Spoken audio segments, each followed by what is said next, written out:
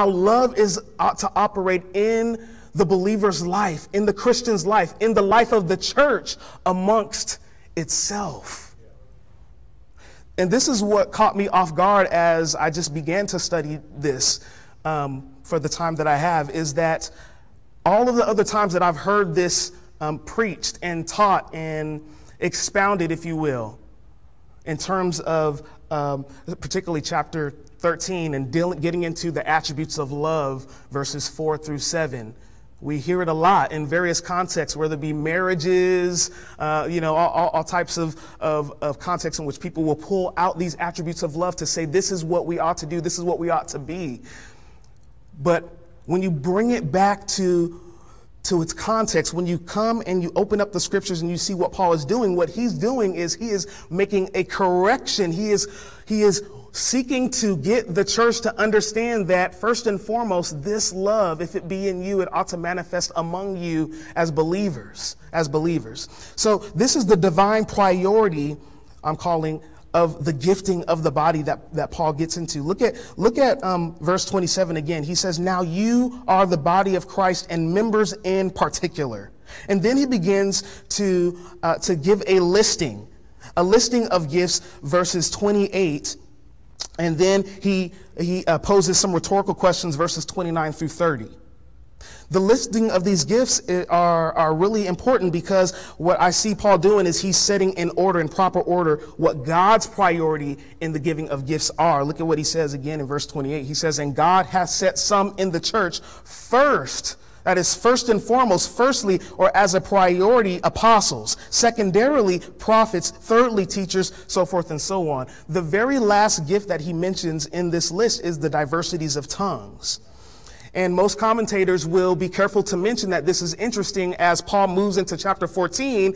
He spends almost the whole chapter dealing with that gift, in particular, the diversities of tongues, which would cause us to think or, or assume that probably what they did was they would have inverted this list to an extent that is, as instead of seeing the apostles as the priority of God in gifting the body, in terms of their purpose and their function. What they were grasping after are these types of external manifestations. They wanted these gifts where, where they could be on a stage and be seen, such as the gift of tongues, of languages. They wanted to do something that was profound, that would cause men to actually look at themselves as they operate in this said gift. And Paul is saying, no, understand what God's priority is in giving the gifts. First and foremost, he gave us apostles. Well, why is that important that God would give the apostles as a priority? Well, if you think about it, there would be no church apart from the apostolic dispensing of that gift. There would be no you and I. There would be no gathering together in the 21st century. Men and women, believers all around the world coming together under the cause of the gospel of the Lord Jesus Christ, apart from God in the person of Christ, choosing men, selecting men, sending men called apostles to lay and to actually become, as it were, the foundation, a part of the foundation of the church, and to lay down the gospel and to give their lives for the cause of the gospel, preaching the resurrected Christ. This was upon the dispensing of the Spirit. They were sent out and missions was going on. Where? Starting in Jerusalem and then in, in Judea, Samaria, and all the uttermost parts of the world. And now you and I in the 21st century, all the way over here in the West, in California, get to sit here and muse upon the glories of God. The same cannot be said in terms of, of, of the impact and the, and, the, and the priority regarding the, the gift of tongues. God, God has given us the, the gift of, of tongues, as, uh, of languages as a breakthrough gift to be able to break through, yes, the barrier, that language barrier, that cultural barrier. Um, and, and I thank God for that. But what he, what he wanted to do is to correct their bad thinking because he understood what the root of their thinking was. That they were grasping after, after certain things.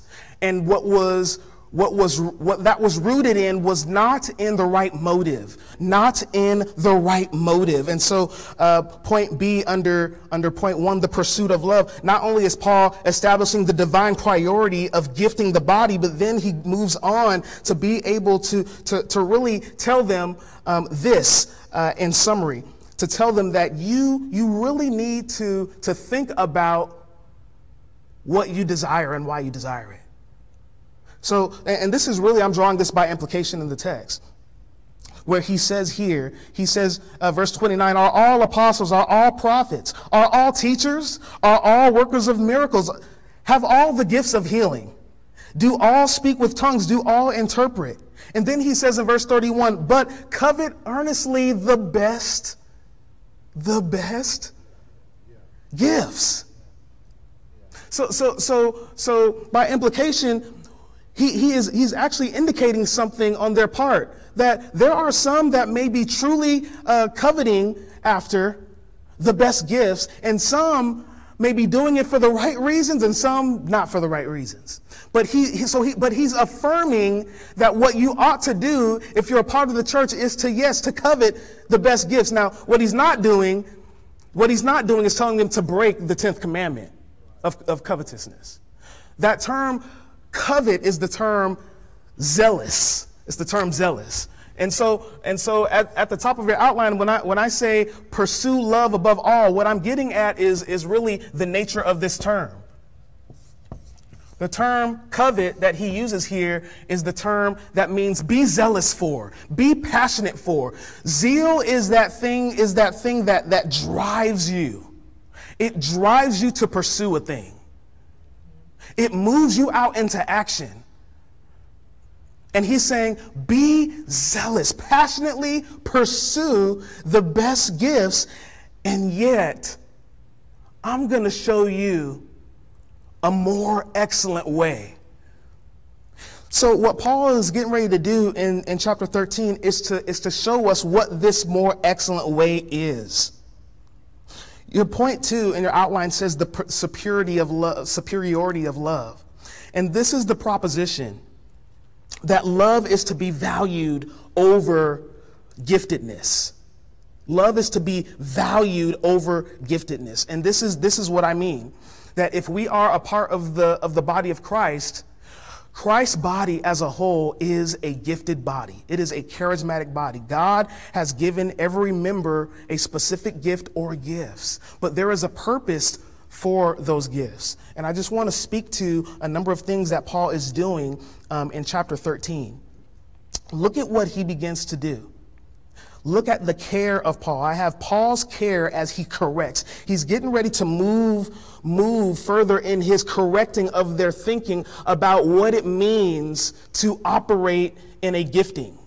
And he's saying, he, he, he is moving in a kind of poetic, rhetorical fashion. This is really a, a, a beautiful poem that Paul is moving into. He, he has a, a spirit, a spirit of God inspired poem that he's getting ready to set forth, and he's going to use this to actually correct them, to actually change their trajectory and say, look at the way that you're thinking. Do you see yourself? Do you see yourself? Do you see yourself? This is important. We, we, we do have to test our passions because because the, the world will tell us all day long that as long as we're passionate about a thing, we should pursue that thing. Without a caveat, without any kind of um, a qualifier. But the Bible would check us and to say that you're sinful by nature. And because you're sinful by nature, your passions are bent towards a certain direction.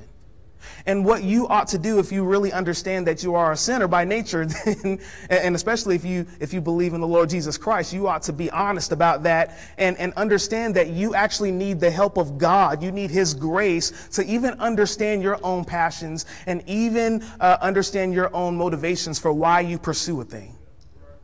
Isn't that true? So that's important for us to always, uh, to, to not assume that because we are passionate about a thing or we earnestly desire a thing, that it be good in and of itself. The way that we get underneath what we're passionate about is to check our motives. Is to check our motives. And sometimes we don't quite clearly understand what our motivation is. And so God has to show us that uh, according to his word. And this is what Paul begins to do. This is what he begins to do. He's correcting their thinking, but I want you to see his care in the way that he does it. I see uh, in First Corinthians, I see a very caring pastoral Paul in First Corinthians. If you read it all the way through, you see he was very, very patient with the Corinthians. Very patient, because the Corinthians were jacked up. They had a lot of issues, and Paul had to deal with them, and he took time to deal with each one. And he was careful in the way that he approached them, even, even to, to deal with them and approach them differently based on each specific topic that he dealt with, an issue that he dealt with. So here, look at what he does in verse 13, or chapter 13, verse 1. He says, Though I speak with the tongues of men and of angels, and have not charity, this is the term for love, I am become as sounding brass or tinkling cymbal. You see that? It's kind of poetic in the way that he uses that, uh, particularly in the King James Version. In the other versions, I believe, like the NIV and, and the ESV, uh, the though would be uh, exchanged for the, for the term if. Uh, so you could, you could read this as a, a conditional statement in a sense, but really what he's doing is he's speaking what we call hyperbole. And that in the, in, in the Greek, the term hyperbole is actually the term that he uses, that he uses in verse 31 of chapter 12, where he says, But covet earnestly the best gifts, and yet show I unto you a more excellent way. That term excellent is the term hyperbole. Hyperbole. It is to go beyond. It is, it is that which reaches beyond. It is, it is, a, it is a, a superior term. It is a, a term of comparison to say that this is beyond measure. What you have been doing is you've been grasping after said gifts and said manifestations in your life in, in, in, when you come to public worship but you're not going about this thing the right way. Let me show you the right way to go about it. So he says, so then as he begins to go into this kind of rhetorical mode again, and he says, though I speak with tongues of angels, you could translate it as, if I were to speak, if I had the ability to speak with the tongues or the languages of men or even of angels, See, so, so he's, Paul's thinking of the, of the, of the extreme, the hyperbolic extreme that he can go to. You want to talk about gifts? Well, let's, let's, let's try to draw this out as large as we can, as extreme as we can in terms of what it would look like to be gifted. What if I was able to speak in this way, to speak with eloquence, to, to woo you, to draw you, to move your emotions so that you can go through every aspect of, of, of emotion, of, of passion, of consideration, and I could get you to move and to do something that I want you to do just with my words? What if I had the ability to articulate myself like that? And I didn't have love what would I be? You see, that's what he's doing. But, but here's the care. Here's what I like about it. This is just kind of a, a subtle thing. As he moves to correct them, he exchanges Corinth or those certain members of Corinth that had the wrong attitude and the wrong thinking and the wrong behavior. He exchanges them as the subject and he puts himself there and he says, what if I? What if I? That's kind of a, that's a subtle way, that's a rhetorical way of kind of, of, of kind of easing the ego of a person that is arrogant so that they can actually take the blow that you're about to give to them. Really, he's demolishing their understanding and their perception of things in a biblical way and in a, in a poetic way, in a beautiful way. He's saying, what if I, what if I, Apostle Paul was able to do this? What if I? What if I?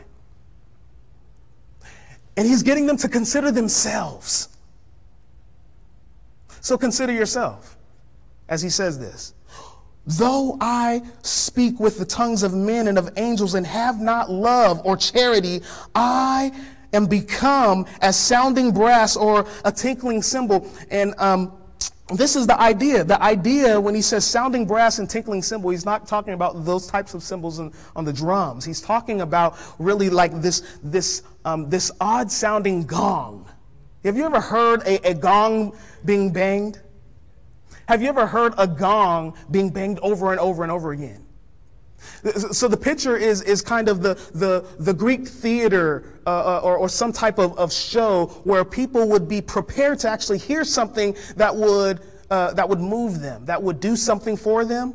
In this case, he's really dealing with the edification of the church, which is the purpose of the gifts. But he's saying, if, if, you, if you were expecting to, to, to get something from me, and all I did in my articulation of speech and my fanciful use of words was, was speak to you in whatever way that I speak to you without love, it's just like someone who would come out on stage and just start banging a gong. Bang, bang, bang, bang, bang, bang, bang, bang, bang. What do you get out of that? You would get nothing. A gong is what we call in music a monotone.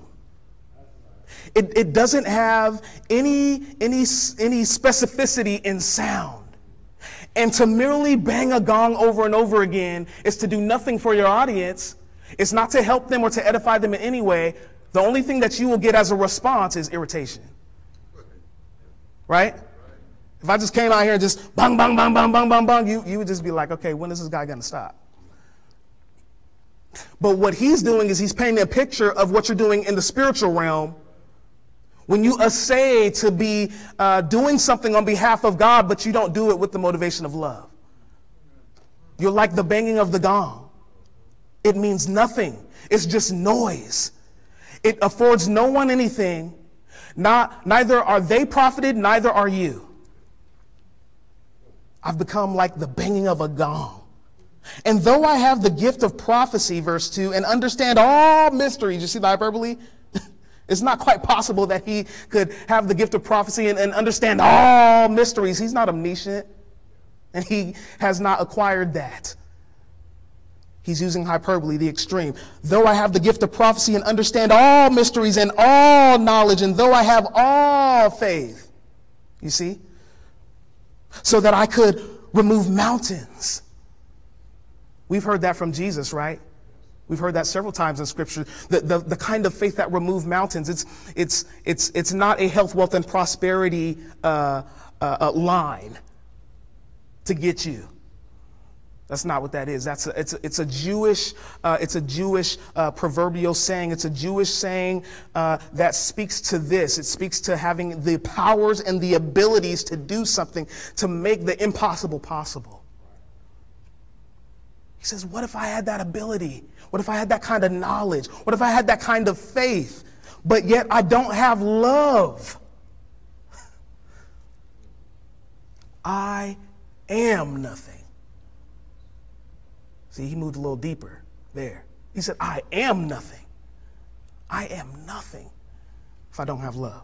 Verse 3 And though I bestow all my goods to feed the poor, and though I give my body to be burned, what are these? These are, these are the, the extremities of self sacrifice. there are a lot of people in this world that have lots of resources and they can do a lot of great philanthropic humanitarian things. But apart from the love of God, to God, that is, doesn't mean much. I can do all these things, and if I do not have charity, it profits me nothing. Nothing. So he moves forward in this, in this, uh, in this poem, in this poem. And he begins to then show them, having proved to them why they ought to pursue love, he begins to show them what true love actually looks like from verses 4 to 7 in chapter 13.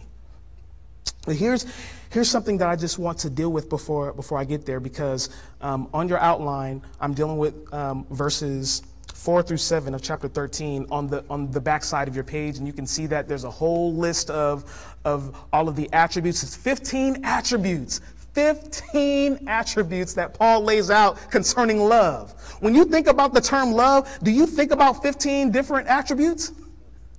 It's amazing, amazing. Paul really thought this through, and the Spirit of God really dealt with him concerning love. And I just want to deal with this. Um, um, I added this to my outline as I was just kind of uh, thinking through this um, by implication, and I, I, like to just set this forth. After uh, on point two, uh, B, point two B, Paul's conviction about charity or love. Do you see that there? Paul's conviction. So we talked about the care that he has as he corrects them, but there's a conviction that he has. There's a conviction that he has about love. Paul's been persuaded about something concerning this thing called love. And I just want to just kind of kind of piggyback on what Pastor Jesse has been dealing with, and this is just what I've been thinking about. Um, and I just would like to just lay it out. Um, when we think about love, what, what we've been considering um, thus far, particularly in chapter 12, is love and the origin of love, right? The origin of love in God. And one of the main propositions, if you had listened to that study, that was set forth and that was dealt with um, extensively, really good, was this proposition that God is love. God is love. God is love. That's amazing, right? And we begin to think about what the scriptures have to say concerning our God, concerning the nature of God concerning what we call theology proper and dealing with the, uh, the revelation of God in terms of those three persons and what we, what we, I like this term, I like this term, the community. The community. The community of the Godhead. The community of God. That really is implied by this statement God is love. It is the implication of the statement that there is a community. A community. When we are to think about God properly concerning the whole of New Testament revelation, we're thinking about a community of persons. Right? So, so here, here's, here's what, what, what Paul's conviction is. Paul understands that what God has done, there in this community, there are two other words that I want you to see that are that are um, a part of this root of community. Okay, community. Commune. Commune. I just I just want you to think about this term. Commune. But I'm going to add commune. I'm going to add this this pre uh, this uh, this suffix communion. Communion this community between the Father and the Son and the Spirit from all eternity. What it looks like for God to be love when you think of in your mind's eye the picture of God who is Spirit. You're thinking of a community of persons that from all eternity enjoyed communion with each other. Communion. A unity, a sharing, a partaking in. Are uh, you following me so far? I'm going to show you some passages, but I just, I just want to lay these terms out. Communion, communion. But this communion, within this communion, within this community, this communion falls out to something further. It, it actually spills over into communication. Communication. a communication. And what I mean is, this communion within the Godhead did not remain internal. What God had decided to do, what the triune God had decided to do, the Father, Son, and Spirit, within this eternal communion that they shared, was to communicate the reality of that love that they share to who? Sinners. Sinners. This communication happens to another entity called the church. And the way that this love of God is communicated to the church, to the church. How does this happen? By union with Christ. The Son, the second person, is the, is the, is the center focus, is the point man. He is the mediator. He is, he is that, that one by which the church is drawn into, drawn into the, the reality of the love of God. Let me show you a passage. Go to 1 John with me.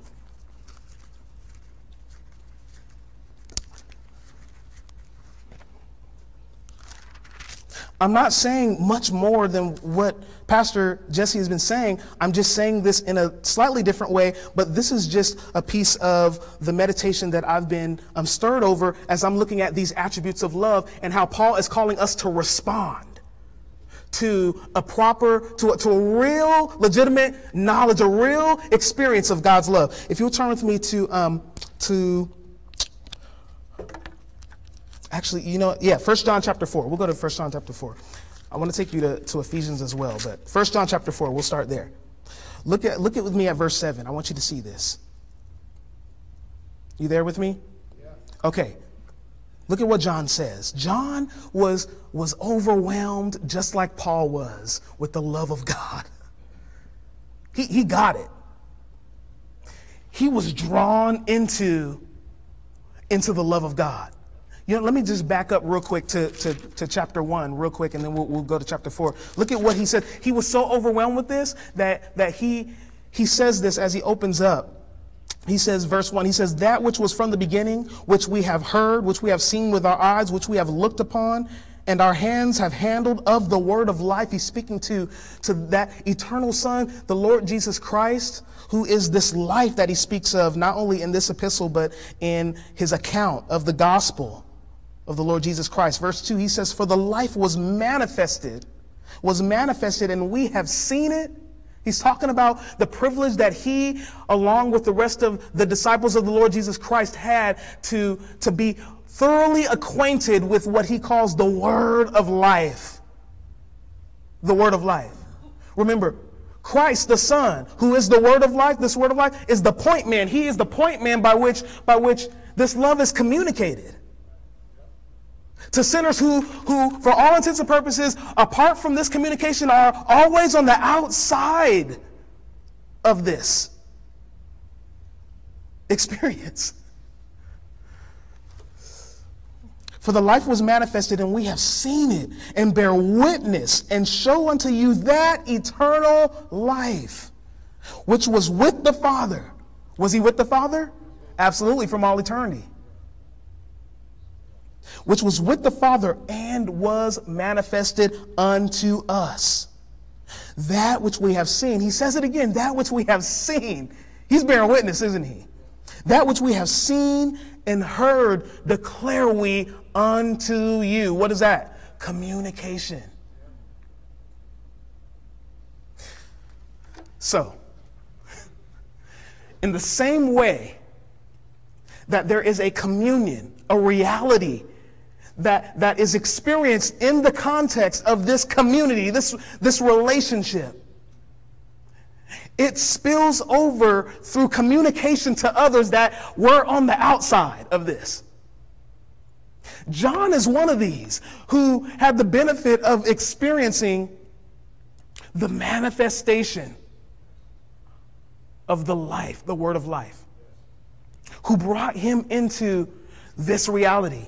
And you know what's happening to John? He's seeing and experiencing the same thing in principle. And this is what we ought to experience as the church. We should experience a relationship of love amongst each other, together, in Christ, with God. And that relationship only, that, that, that love only begins there. It only begins there in order to spill over so that we begin to communicate as well to others who are outside called the world. You got it?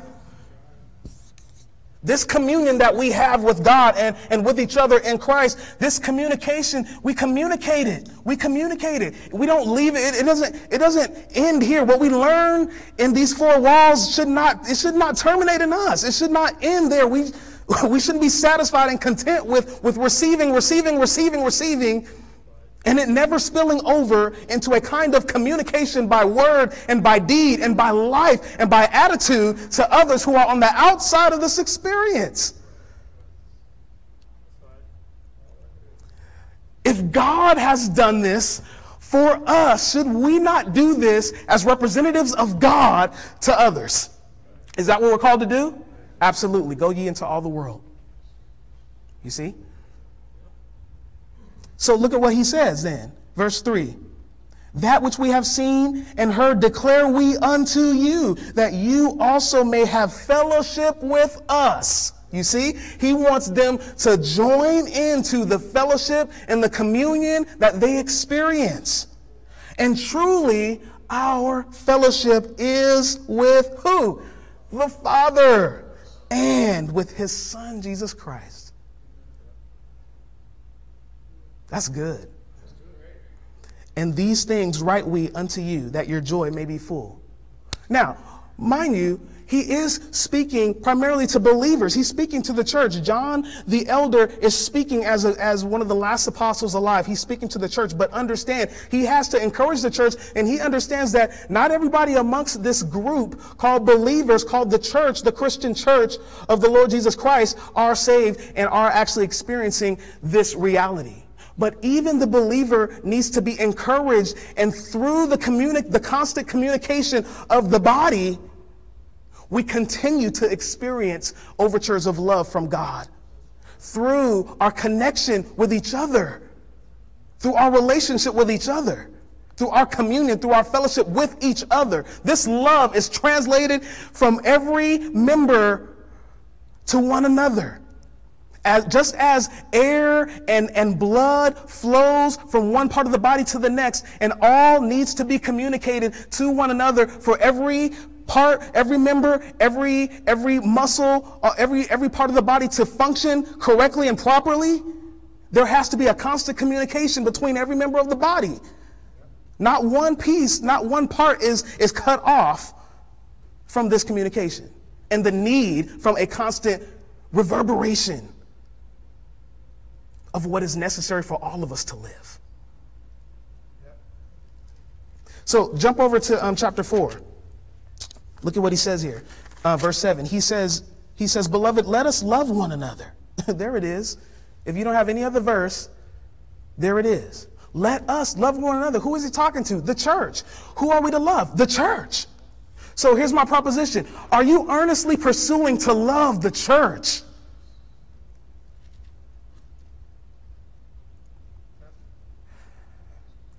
is that even our first thought when we think about the command to love? Because a lot of times we'll hear we ought to love the world. I'm not saying don't love the world, but what I'm saying is, first and foremost, do you see the necessity of God placing you in the body and equipping you with gifts, spiritual gifts, so that you might be a means by which love is communicated to the church.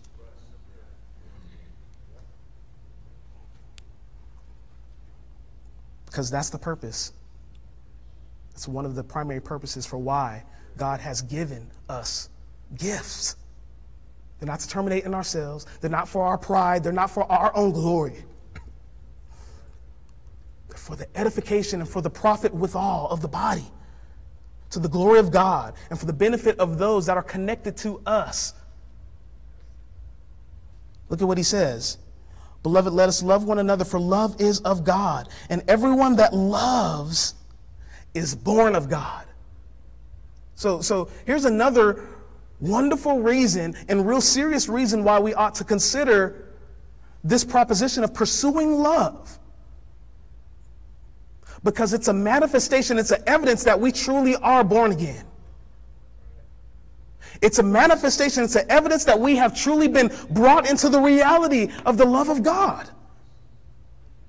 Having been made new creatures in Christ, been made his children, been, been, been given new life spiritually. And the Spirit of God has poured the love of God in our hearts because Christ has truly redeemed us. It's an evidence. Everyone that loves is born of God and knows God. John just ups the ante, doesn't he? He that does not love does not know God, for God is love. And this was manifested the love of God toward us because that God sent his only begotten Son into the world that we might live through him. And he, and, he continues to push the, the gospel redemptive picture of Christ being our propitiation, being the, that the cross being the ultimate act of love, the ultimate demonstration on the part of God, showing us what true love looks like. I really don't have time to go through all of the 15 attributes that Paul uh, lists in, in 1 Corinthians 13, 4 through 7. But let me just tell you, what Paul is doing is he's, he's painting a picture. He's painting a picture. This is how John MacArthur said it, and I like it, so I stole it. I acquired it. That's a better term. He says, the Apostle Paul in 1 Corinthians 13 is painting a picture as a master artist. And he's sitting, and the object in front of him that he's looking at, for which he's painting this masterpiece, this poetic picture, this poetic masterpiece, is a person. And the person is the Lord Jesus Christ. And as I thought about it, I was pushed back on my heels and I thought, wow, but what Paul is doing is much more than just drawing a picture of Christ is as it were rhetorically he's drawing this picture. And we know who it's supposed to be right? We're believers. It's supposed to be christ because when you look at these attributes in 1 corinthians 13 4 through 7 you just look and you say well that's not quite me.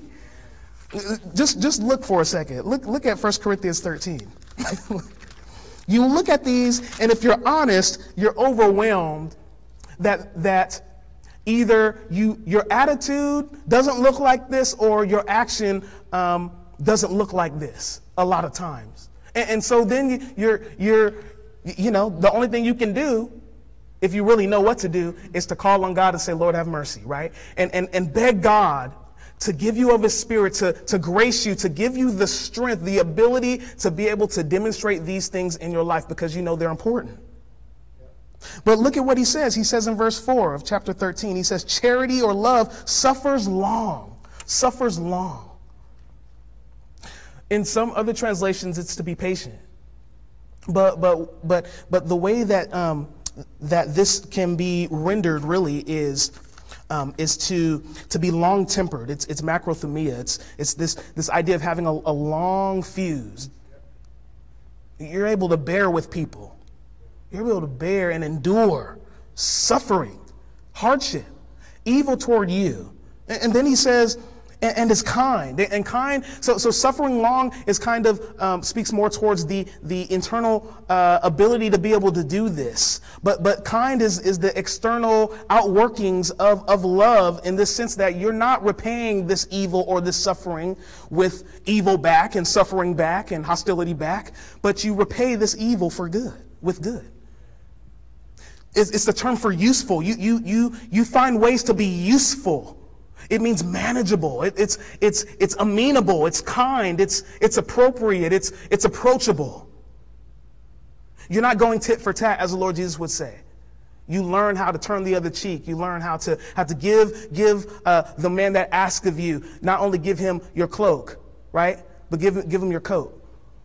You, you, you go with him a couple of, a couple of miles. You, you do the extra deed. You're kind. And then he says, charity does not envy. And charity does not vaunt itself. That is, it's not, it's not boastful. It's not boastful. It's not puffed up. It's not one, it, it, it doesn't look like one who is arrogant, who thinks uh, of themselves as more important. Therefore, it's willing and it's ready and able to suffer long because it's humble. Because it's humble. Love does not behave unseemly. It, it, it's, it's not rude. It doesn't seek its own. And Paul speaks to this in Philippians chapter 2. He says, Let this mind be in you, which was also in Christ Jesus. Well, before he says that, he says, Look, th- stop thinking about your own stuff, your own things. You actually need to esteem your brother above yourself and think about the things of others sometimes.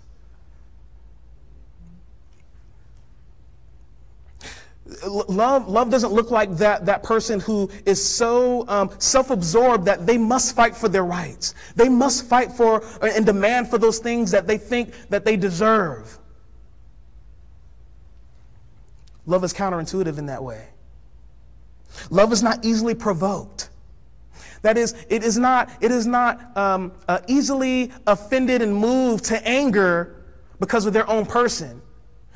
Jesus Christ was like this. When you saw Jesus Christ angry, it was not, it was not because of his uh, own personal offense to, toward himself. It was because his heavenly father was offended, because his heavenly father was rebelled against, was sinned against.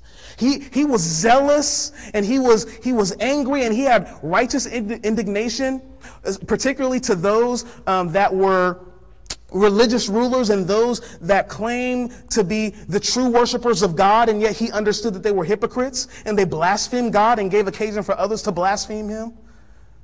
He was jealous for the glory of God, not his own glory. It says, Love is not easily provoked, it, it thinks no evil. It thinks no evil. When, when we are when, when we are angered and we are provoked and we are offended, we are ready, we are ready to think evil of a person. And to think evil is, a, is that, that term to, to, to think evil, it's, a, it's an accounting term. It's this, this idea of, of accounting something. It, it is, is to take record, to count it up. And he's saying love does not count offenses. Love does not keep a tally or a book of all the wrongs you did to me so that the next time you do something wrong, I can pull it out and let you know this is what you did to me. It doesn't keep offenses. Love is able to forgive. It's able to release. It's able to let go. It's able to reconcile. It's able to redeem. That's what love is able to do. It's able to overcome that, the offense. You see? Love does not rejoice in iniquity, it, it, it rejoices in the truth. Love bears all things, love believes all things, love hopes all things, love endures all things. These attributes of love, these qualities, these characteristics of love look like the cross. In fact, they look like the entire life and death of the Lord Jesus Christ. It looked like the person and the work of Jesus on behalf of sinners and to the glory of God. That's what they look like. So when we so so when we consider that Paul is painting this picture, we we might be kind of squirming in our seats because we're like, okay, well, I'm ready for him to finish this picture and show me but when Paul shows me this picture, what he's really doing rhetorically is saying, look at this picture. Look at what love looks like. Is this you? That's what I think Paul is, is kind of doing. He's trying to get you to, to not only see the qualities of love, but to check yourself by these qualities. And to ask yourself, is this being manifested in my life? Does this look like me? And of course, you're going to say, well, I'm not perfect like that. That's not the point. The point is that you know the one that is perfect like that. The point is you've been called by the one who is perfect like that, the Lord Jesus Christ, the point man, who's calling you into this love, who's calling you to be conformed to this. God's purpose is to conform us to the image of the Lord Jesus Christ so that as Christians we are called to follow in his footsteps. So that this very same love is what we ought to see in some degree being manifested in our life toward each other and then to the world.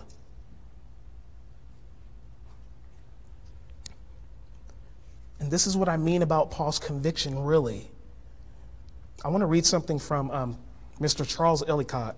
He said this about, about this passage. He said, The Apostle Paul had always been conscious of a mighty power working in him, mastering him, and, and bringing him into captivity to Christ.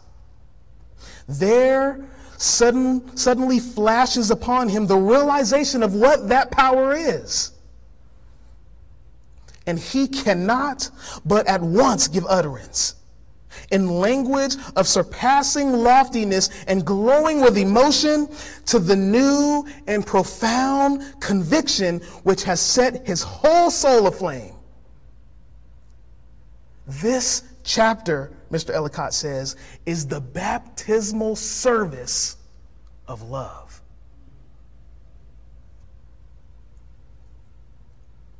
We've been talking about being baptized by the Spirit of God into Christ, into his body. And Paul is eulogizing love. He's singing a hymn of praise of love. He's, he's, he, he is speaking in poetic form concerning the glory of love because he realizes that if we're a part of the church, we've been baptized into this reality. Therefore, we're called to commune together in this reality and to communicate this reality to everyone that is in our sphere of influence. This is why love ought to be the ultimate pursuit. Several other verses that I have here um, I feel like this is a good place to stop. I would encourage you to read um, some of those those verses and those passages, um, particularly the ones that are in bold, um, speak to um, the redemptive nature of these things and how they point to the Lord Jesus Christ. And we could see this again in his life and in his death, how he communicated love towards sinners, towards sinners, and he communicated love toward his church, toward his church. This is what we're called to do the last thing I want to say here is that this is this is really um, what God has called us to do. I just want to go to Ephesians chapter four. This will be the last passage I read. For, uh, if you would turn with me to Ephesians chapter four.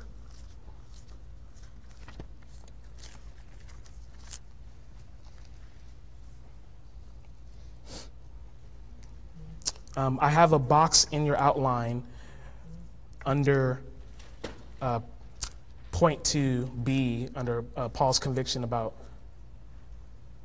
about charity or love. And in that box, um, there are other verses there, including some of the ones that, that we looked at.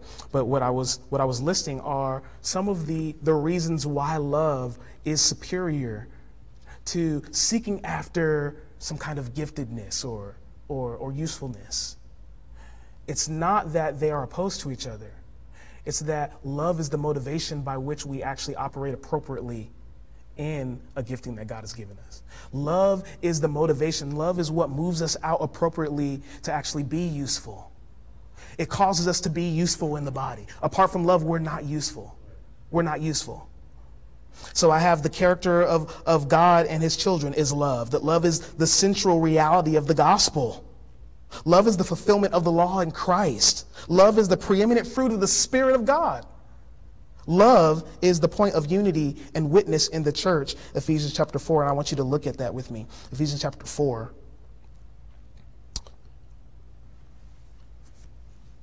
Uh, I'll start at verse 1. Look at what he says. He says, Paul, again, again, he was overwhelmed with love. He says, I, therefore, the prisoner of the Lord, beseech you that you walk worthy of the vocation wherewith you are called. Walk worthy of the salvific calling.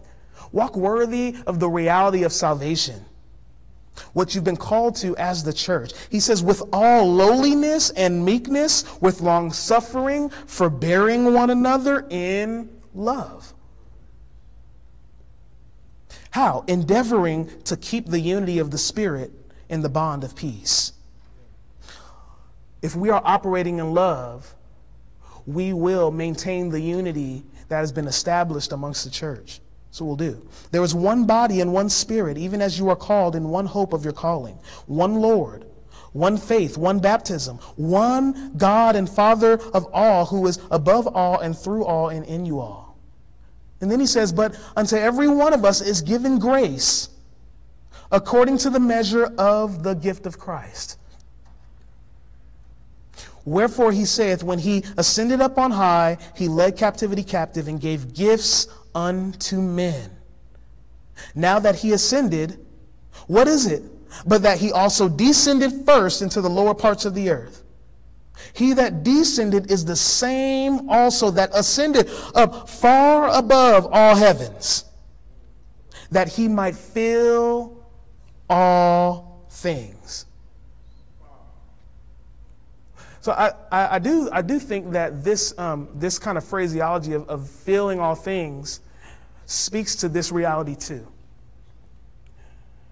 That what, what, what Christ is doing, what God is doing in Christ, is, is filling up this world. He's filling up everything, but the way that he the way that he is dominating, the way that he is filling all things is he's doing it through the church. He's communicating this love, this reality of grace, the, the reality of the victory that Christ has wrought by virtue of his death, burial, and resurrection on behalf of his elect. He's done it, and he's, he's secured salvation and redemption of everything. It's a matter of time. But this is unfolding throughout redemptive history, even now, through the reality of the church. And look at what he says. Verse 11, he gave some apostles, there's they're the priority, there it is, they're the foundation. He gave some apostles and some prophets and some evangelists, some pastors and teachers. Why? For the perfecting or the maturing of the saints for the work of the ministry, for the edifying of the body of Christ. Do you see the priority of the body of Christ in the giving of the gifts? This is based on need. This is based on, on God's purpose to build up the body. And he equips the body through these gifts that he dispenses. He equips the body. He makes the members of the body instruments, useful instruments to communicate the love of God through the redemption that Christ has accomplished. Until we all come to the unity of the faith and the knowledge of the Son of God unto a perfect man, unto the measure of the stature of the fullness of Christ, that we henceforth be no more children. See, he's talking about growing up and maturing. That's really what it looks like if we get this thing called love. If we have experienced love and we are enjoying the communion of this love, of this reality, and God causes us to be communicators of this love amongst each other and then to the world, we're actually growing. And we're not growing uh, lopsided. It's not me growing more than you. It's not you growing more than me. It's the body is growing together, effectively and efficiently, together, as a body, together. The body's edifying itself in love. That we henceforth be no more children tossed to and fro, carried about by every wind of doctrine, by the sleight of men, the cunning craftiness whereby they, lay, they lay wait to be uh, in, uh, to, to deceive, but speaking the truth in love we may grow up into him in all things, which is the head, even Christ. From, the, from whom the whole body, fitly joined together and compacted by that which every joint supplies. You see, he got the picture. Every joint, every part of the body is functioning in its role. And because they're doing what they're to do, what they're called and what they're designed to do, every other member of the body is benefited and able to function in a greater capacity than they would be able to apart from the functioning, the proper working and functioning of the other, members of the body. According to the effectual working in the measure of every part, making increase of the body unto the edifying of itself in love. That's what we're called to, brothers. That's what we're called to. And this is why our contemplation and our study of the love of God is something that um, should not be made light of. We should, we should continue to strive and to, and, to, and to dig deep and to, and to go headlong into this reality and understand how this ought to impact us and affect us so that we can be the church that communicates to the world the love of God. Because that's what Christ prayed for in John 17. Read it. That's what he did. Amen. God bless you.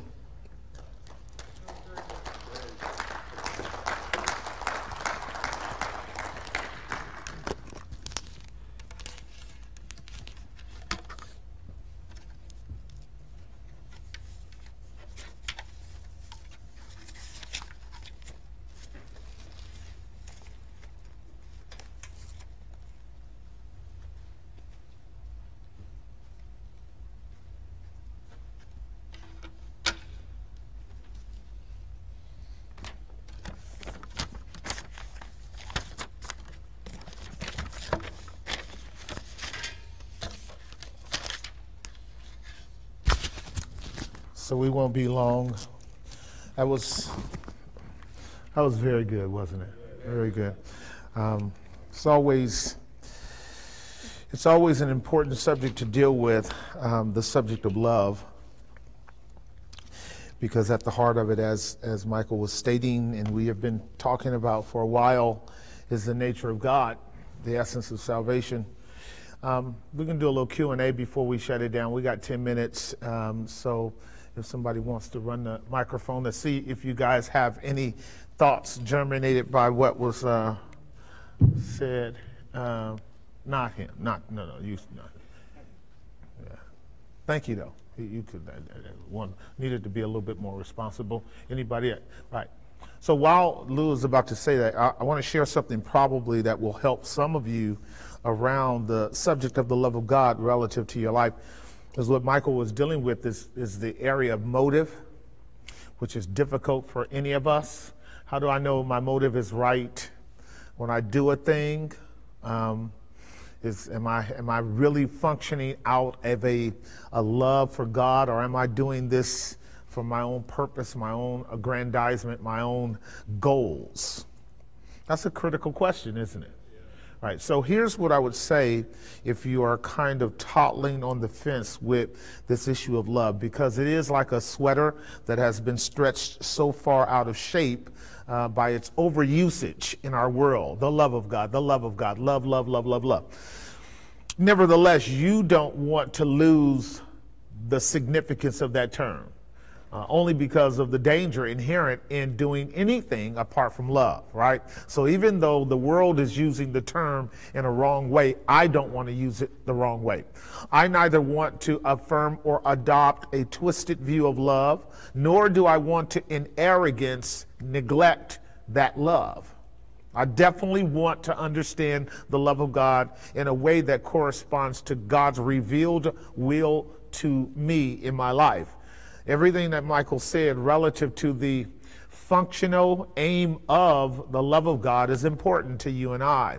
Just to re- remind you of a couple of things, critical things.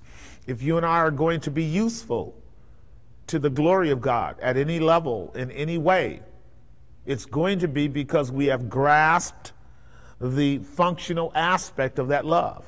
It's not going to be because we like inadvertently slipped into it is going to be because we have intentionally pursued a knowledge of God relative to the central character of God revealed to his creature, particularly in the matters of redemption by which he is bringing us into that community. That communion and community and communication that was talked about tonight, which I started with you guys a few weeks ago, is really something you want to learn. You want to really be able to grasp the concept of communion because that's what love is a subject object relationship that is reciprocal in nature, always pursuing the highest good for the other. Does that make sense? That's called communion. Communicating that is the exertion or manifestation of that reciprocating love so that it goes out, which is another aspect of love definitively because love always gives, right? Love always gives. That's the nature of love. This is how we know we are loving because we are giving. For God so loved the world that he what? So now the love of this triune God is now exhibiting itself in giving. So the believer has been the beneficiary of that, that gifting.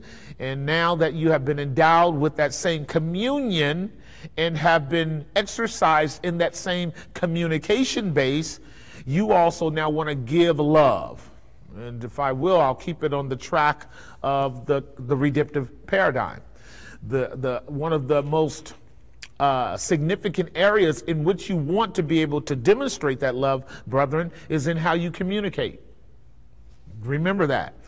One of the first and foremost areas in which I want to be able to walk in the love of God practically is how I communicate. That is the gift that he gives you and I on an evangelical level that will most readily bring men and women into an awareness of who God is in Christ. So if my words are shaped and formed by a motive of love that's rooted in a revelation of the glory of God in Christ, then I am going to be leaning into and inclined towards making sure that when the door opens for me to talk to people, it's going to be shaped towards helping that individual see Christ more clearly or see him altogether. So communication for the believer is redemptively manifested in our being evangelical in nature, right? Does that make some sense? That kind of gets you out of the sort of uh, weird uh, emotional and psychological concept of love, but still going back to it on a more on a more practical level when we talk about love and how it's going to work itself out, just take this concept down.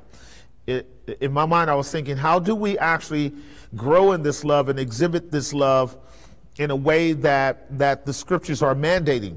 Well, I'll call this the death life dynamic. The death life dynamic. The one thing that's always impeding our ability to do what's right is our sinful nature. The one thing that's always impeding our, our desire to do what's right is our sinful nature. So, what Michael was talking about in terms of the love of God is centrally manifested as well as communicated to us sinners through Jesus. So when we talk about if you don't have love, you don't have anything. That's what Paul said in 1 Corinthians 13. Is that true? Well, really, you could say if you don't have Christ, you don't have anything. That makes sense, right? But I want to expand that term a little bit larger as Paul has given it to us on the more dynamic level. If we don't have Christ and Him crucified, you don't have the love of God.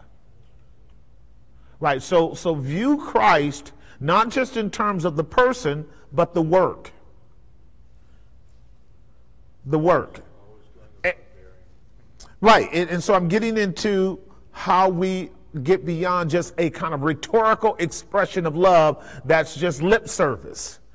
If I'm going to overcome my impulse to be selfish and overcome my impulse to think about me first, then I have to embrace the death aspect of the gospel in order that the love aspect of the gospel might be able to execute itself through me.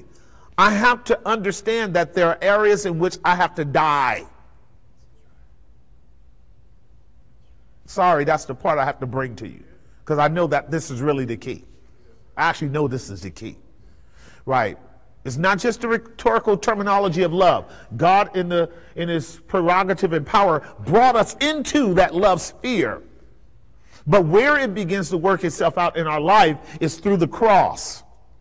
This is what Paul meant when he says in Galatians 2:20, the Magna Carta of his life is, I've been crucified with Christ. That's the secret that he's saying for him to be able to exhibit the love of God in a manner where he didn't care about himself, but all sorts of other people, and also his usefulness.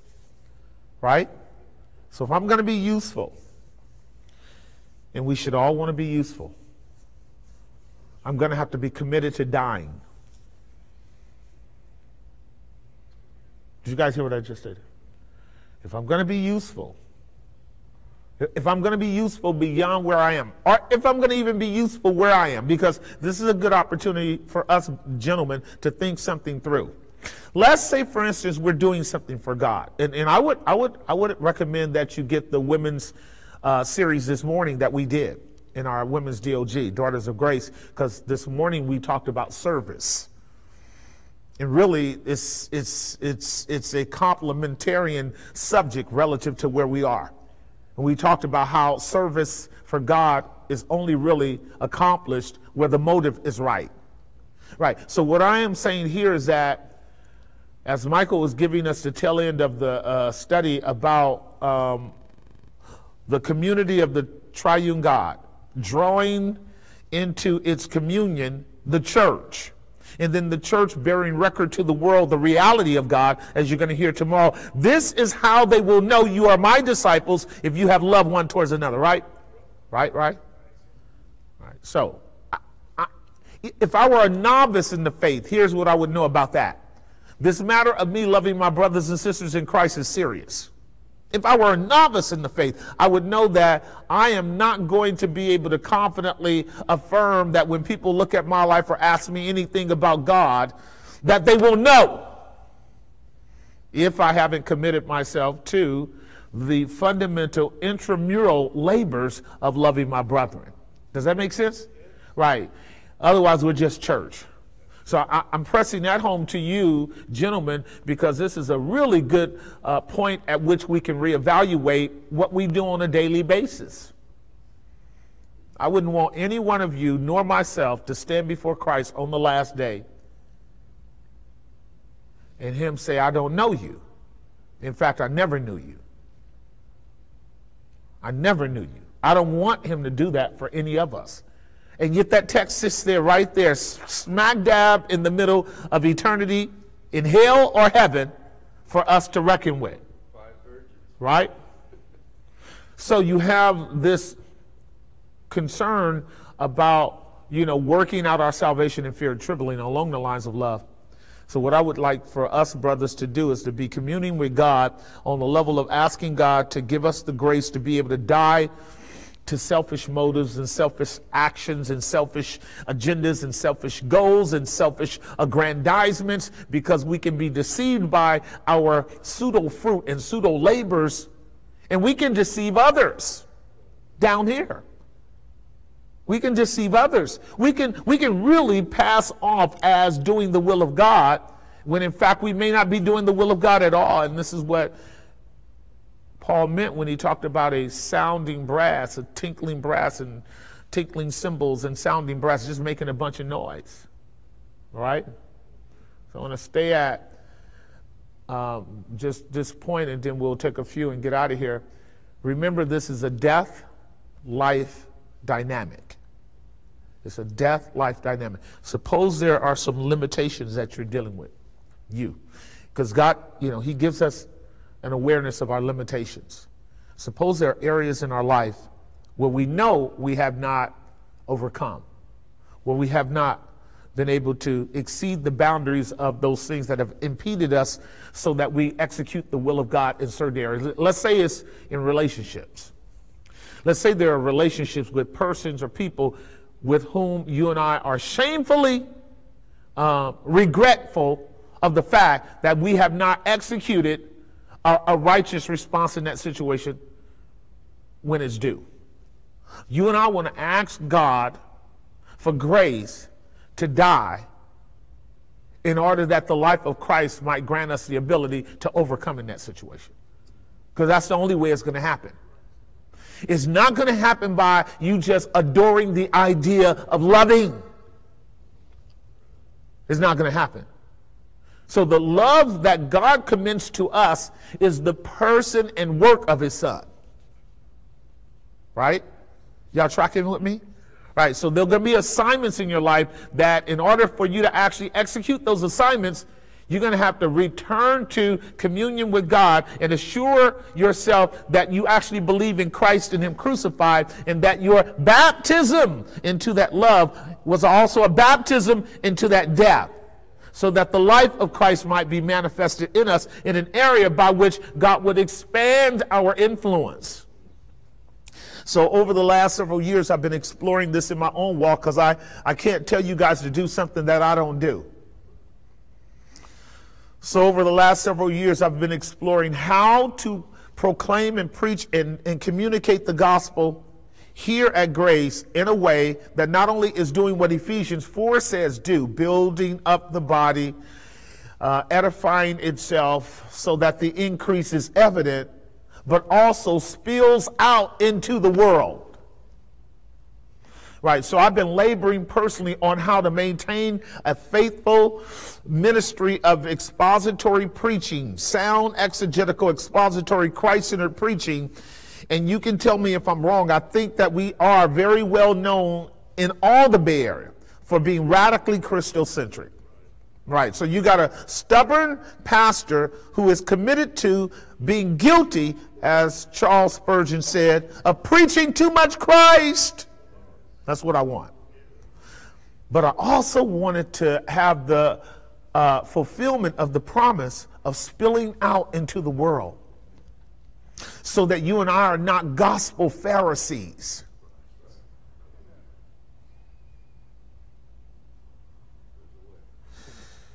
Having a name that we're alive but dead.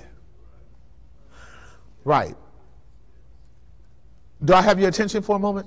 So here's, here's what I have to do I have to die to certain fears, I have to die to certain anxieties, I have to die to certain uh, threats, and allow myself to be placed in situations by which, if the enemy wanted to, he could accuse me of things. Do you hear me? I could easily just stay in the pocket and just preach to the choir. But doors open up to go here, and doors open up to go there, and opportunities to preach yonder occur because probably because I'm actually taking this love thing a little bit more seriously and allowing it to spill out into communities that are not like us. Do you hear me? I'm allowing it to spill out to communities that are not like us. And, and, and I don't say that in any arrogant way. What I'm saying is, I have intentionally labored for years now before God with the objective of the growth that I have presented to us over the last couple of years. Lord, increase our faith. I, I have actually gone before you in my own walk, wanting to explore what it looks like to be clear on Christ and Him crucified, but ready to commend Him to every man. To every man. To every man, and then to see how God would keep me in those communities and spaces and areas where people are not as grounded or solid in Christ as we are. And, and, the vulnerable elements that come along with it. You guys understand what I'm saying? So just the other day, I was in a race relations conference how many guys knew about that? How many of you guys heard it? A race relations conference. That's a death life dynamic if there was any. Most pastors would avoid that subject like the plague. So I said, when I was asked to do it, I said, okay, here's a good opportunity, Lord, for me to die right? And let people think what they want. Our pastors caught up in the politics or caught up into this or caught up into that. No, it was just what Michael was saying. That when your communion with God is rich and rooted, it's going to emanate like Mary's anointing of Christ emanated and offended everybody that wasn't ready to be guilty of loving on Christ too much right? Because once that aroma goes out, they're going to say, hey, would you come over here? So I was at a big church last week as the central speaker in a community that doesn't really have the gospel at the level we do. And I just preached Christ. I mean, I just put him out there like you guys get it, right? but it was because I was willing to die to certain anxieties and, and accusations and, and phobias and fears that would come with people who would say, hey, they play blues over there. Okay, what else? See what I'm getting at? Because that's those are the those are the traps and hindrances in the church where we are not operating out of love. So if we have the vision that the goal is that the, the Godhead has a community into which he's drawing us, and we are in that community through baptism, and we understand that it's designed to create an edification among ourselves that increases the body. Hence, 2,000 years later, Christians all over the world, and we're part of it. How do we continue to facilitate that prophecy forward until Christ comes? But to let the death life dynamic of the gospel work itself out in us so that Christ in you, the hope of glory, becomes the realization of 1 Corinthians 13. Christ in you. Because that's really what Paul was painting. He wasn't just painting Christ, he was painting Christ in you, the hope of glory. That's true. And what it's going to do is, is force you to struggle with leaving comfort zones and engaging at the level of believing the gospel will work as a witness, if not as a, a, tool of conversion for people that are not like us. Am I making some sense? Good, good, good, good, good. So I'll let you resonate with that. A couple questions, we'll wrap it up. Who has a mic? Big Lou. Is it on? Is it on? Uh, Pastor, maybe you can help me with this, but the the mixed emotion of love and fear that I have uh, in a harmonious way with, with, with Christ and God the Father is like unto when I went to school, I was more fearful of, of being punished by my mother than I was the principal or the teacher because there was a certain uh, code and ethic of behavior that she expected me to exhibit uh, that was in line with her teachings to me that she expected me to act out when I was away from her. So I didn't want my school teacher or the principal calling her back saying, hey, this guy's not acting like that. Because, and I, so I didn't fear them. I did fear them, but nowhere near the amount of fear that I, that I had for my mother. So I was more inclined to try to make a deal with them or what could I do so that this would not get back to my mother. Uh, you know, maybe I could do something that you know, they after school do anything, flip the books, anything, so it doesn't get back to her. And I, and the reason why I bring this up is because there's so many people now who, I mean, Christian people who are fearful of what the government's doing and and what the, the, the end times, uh, the, the, we, you know, a, a, a meteor could hit the earth and all this stuff.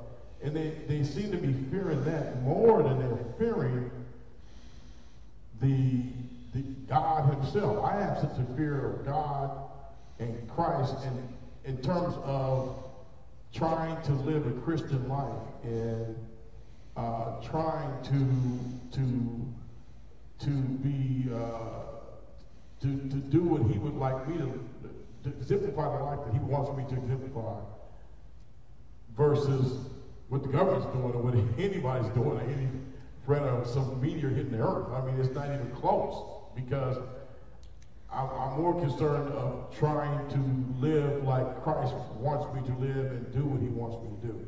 I, I, can you kind of articulate what I'm trying, what I'm trying to bring forth in this? No, I got you. Um, anybody else have an observation?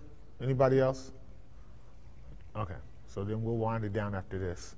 You don't have to talk just to talk. I ain't just. I don't want you to just run off at the mouth but make sure you got a, a legitimate contribution. Don't mind that. Um, let me say this about what Big Lou just stated. Big Lou actually is talking about uh, um, an aspect of uh, the messianic attribute that um, distinguished Christ from all of the other teachers and prophets and preachers, and that is godly fear.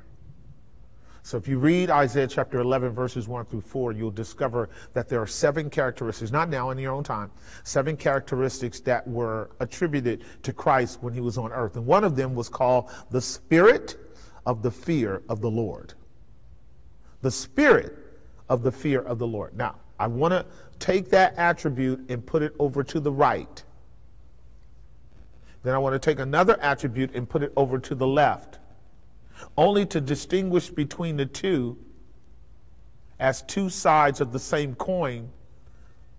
They are not the same, they are two sides of the same coin, and they function with different purposes.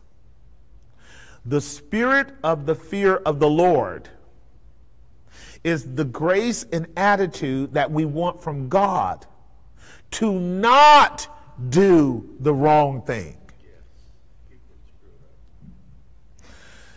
The spirit of love is what we want in order to do the right thing.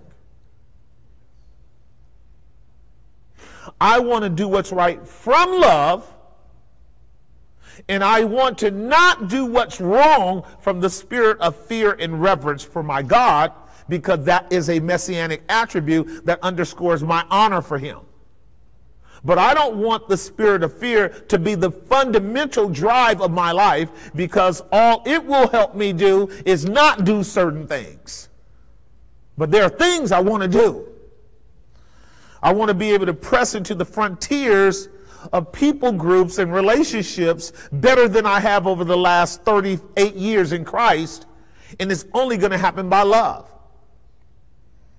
Because love casts out every kind of fear that would impede you and stop you and give you reasons not to do it and give you arguments to bail out and give you excuses not to engage. Right? But if the love of God in Christ allows me to maintain this radical Christocentristic concept of the death life dynamic, I can do all things through Christ that strengthens me.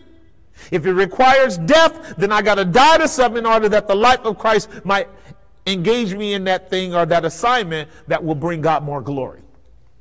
This is what I want to keep before your eyes. I am sure that the thing that keeps us from moving in obedience is the fact that we're not dying. I am sure that there are situations and circumstances and events where God could use us there, but we haven't died yet. You guys understand what I'm saying? And, and, and, and, and I mean, this is, a, this is a dynamic death. I'm not talking about a philosophical or theologic, theologically articulated concept. I'm talking about coming up on a situation and knowing I really should be assertive in the will of God there, but I can't. And the reason I can't is because I'm stuck on self and my own reputation and my own ego and my own feelings, which 1 Corinthians chapter 13 verse 8 gave us affirmative attributes and negative attributes. It said what love is and what love is not. What love does and what love does not do. It does not rejoice in evil. It does not rejoice in iniquity. It does not rejoice in wrong. It does not hold accounts, right? Remember it said that? Right. So love does some things and love does not do certain things. And if I'm able to hold that list of Christocentric, Christ crucified attributes together appropriately, then I'm going to be able to employ those attributes at the right time. Why is it that I don't want to have that conversation with that individual? Is it because I'm holding accounts of evil against that individual? or that people group or that church or that denomination? Am I holding them hostage?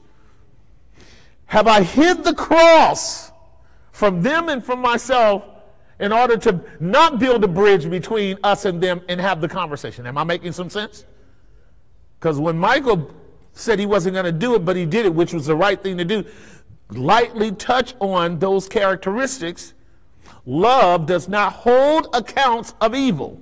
We can do that so subconsciously and not realize that we haven't taken the forgiveness of the cross, applied it to ourselves, and applied it to them as a premise to begin talk- talking. I'm making some sense. Even though you guys don't want to affirm it, I'm making some sense. Right. And this is what I mean by dying. This is what I mean by dying. There are time, I, I guarantee you, if you guys think through what I'm talking about, for what I'm saying to you is alien to you. Just think it through. And I'm going to pray that if you, if you don't get what Pastor's saying right now, that tomorrow, or maybe even tonight, God will bring a situation to your head and you go, yep, he's right. There's just areas I'm not dying in. I'm way comfortable with my life. And I don't want that to be. I want you and I to be able to win somebody that we don't like. Am I making some sense? What were you going to say, brother?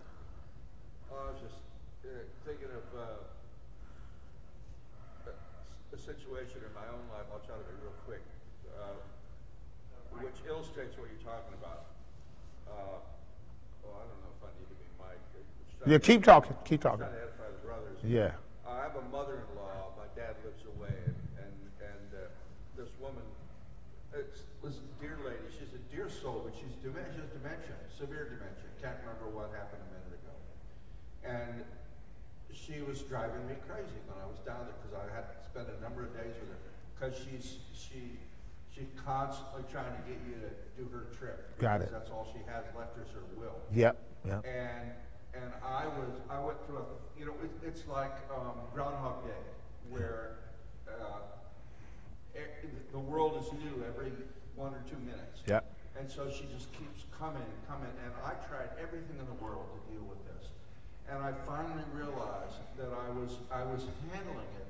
You know, she she's pushing me around, she's telling me what to do, she's this, she's that, she's the other. And and I was operating in the way of Cain. Yeah. I was operating in terms of, I was not operating in terms of dying. I was not, and, and finally, I, I, uh, I don't remember what scripture, you know, I, I just went to my Bible, you know, because she was just driving me nuts. And uh, the scriptures were there, and what the Lord showed me was, uh, and this probably sounds so goofy, but just, you know, whatsoever things are good, Yep. whatsoever things are true, Philippians 4. things of good report, That's right. Think on Yep. these things. So God said, you know, think of the things about Lena, which are a blessing, you know, because she can do certain things. And, and so I began to just address her as a queen. Yeah. Yeah. Address her as though she were the most precious thing. Yeah. Here's a woman who you can't have a conversation with. I had a conversation with her for 45 minutes about the Lord Jesus and the scriptures, and, and it is as though God restored her mind. That's right. that That's time. right. That's right. And it was because I God showed me through His precious Word how to put on Yeah. Christ Right. in this situation. Right. It was the devil was using. Oh yeah. Totally. And Totally. it was such a ministry to my unsaved dad Yeah. who was in just constant warfare with her. Yeah. And it was it was powerful. And he began to, you know, he wanted to go to church with me. See? He wanted the pastor to come over. See.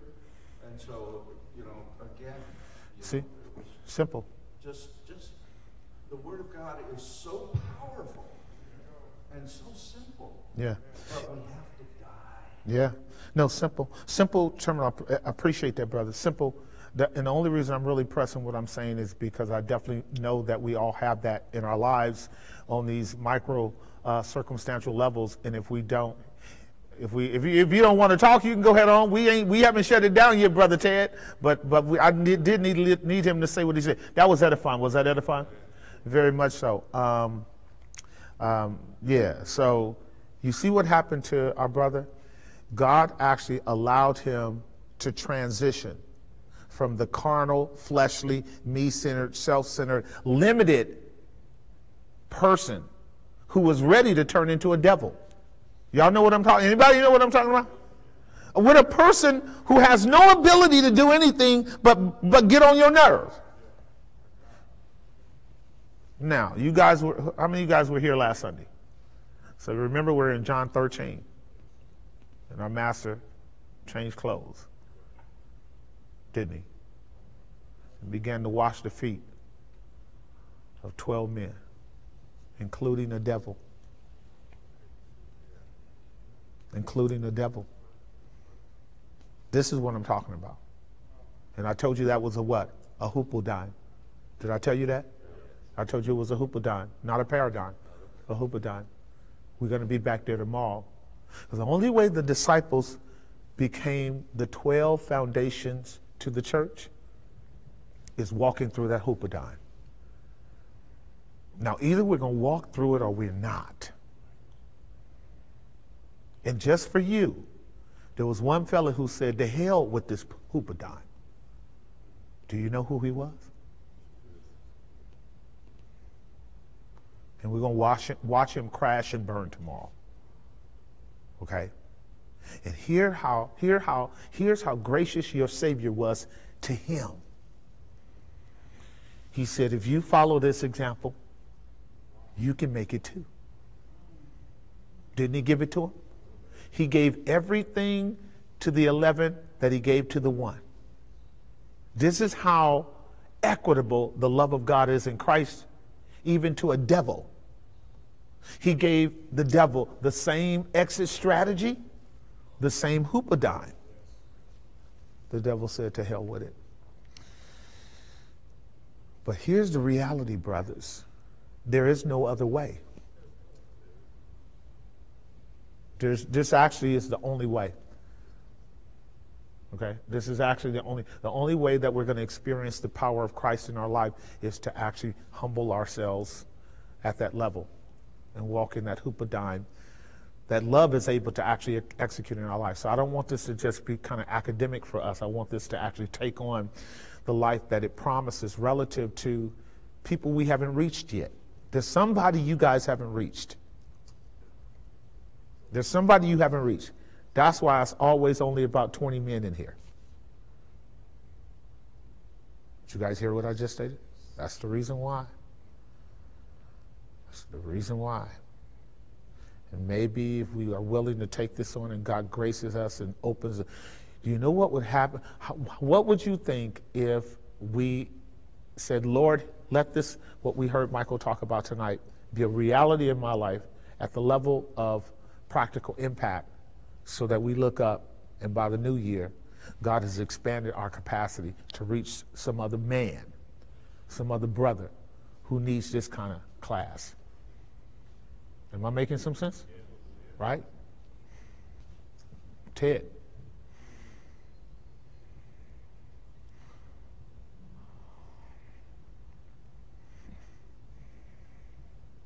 I was just thinking about the uh, what you were saying, uh, your summary of what Michael was saying, and I was thinking about the uh, sixth chapter of uh, Romans, uh, verse uh, 16, where it says, "Whom you yield yourselves servants to obey, uh, to him whose service you are."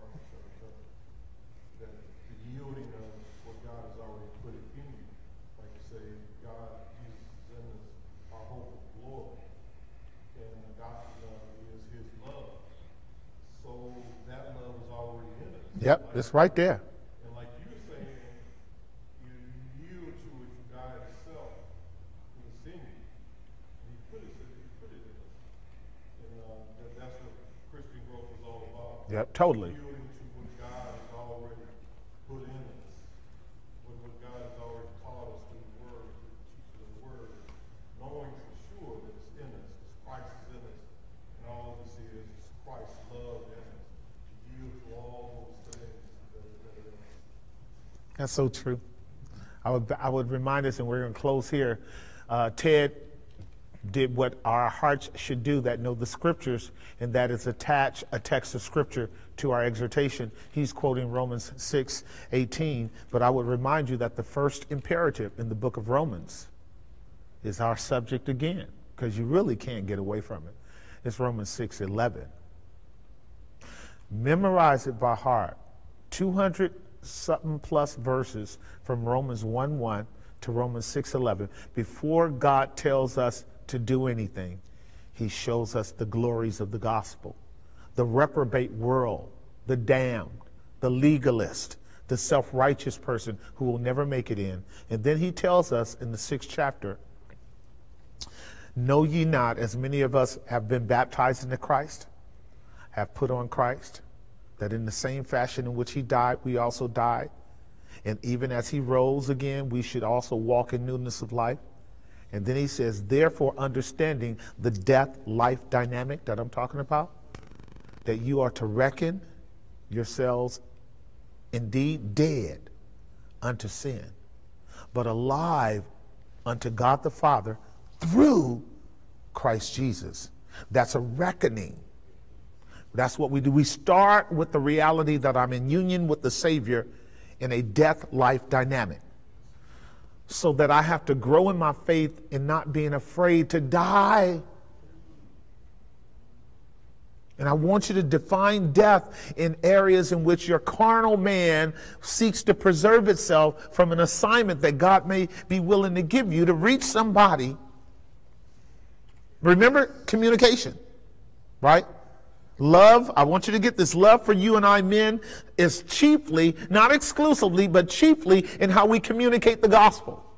That's how love works for us. Otherwise, we'll mess it up. If we just talk about hugging people and going kumbaya, that's not going to work. I'm talking about how our hearts have to be geared towards looking at a soul, recognizing the imago Dei, recognizing that what they need is for me to communicate the love of God to them in Christ so that that love would draw them into the community just like it drew us. Let's stand for prayer.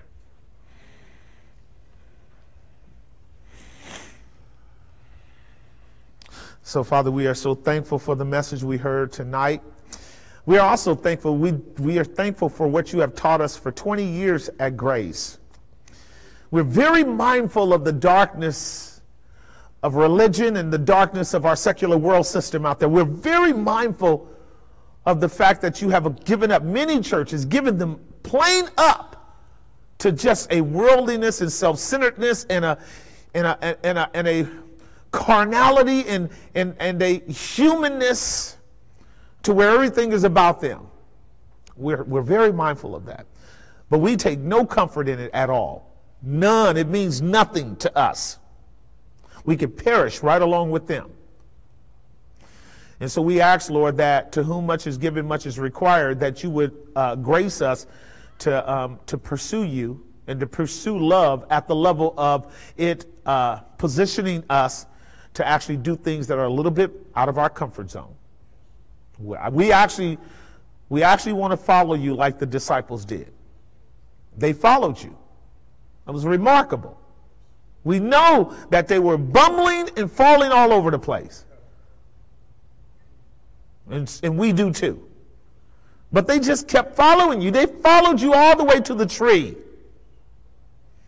That's what we want to do. That's what you've called us to do. And you called us to join you in your death. And you promised to raise us again. Even as you did it 2,000 years ago, even as you did it at our conversion, we pray that you continue to do it as you told us. If you are my disciples, you will continue in my word and the truth. You will know the truth, and the truth shall make you free. So we want to actually continue in your word. So I'm asking that you bless every brother here tonight with that message, and that you bless every brother that is listening and watching with the same, so that we might continue to grow in grace and in the knowledge of you, and abound in the Christocentric, Christ crucified love that is able to die and live again for your glory. And we pray it all in Jesus' name. Amen. Bless you, brothers. Y'all, let's get on out of here. Let's not delay. And remember, don't come back next week.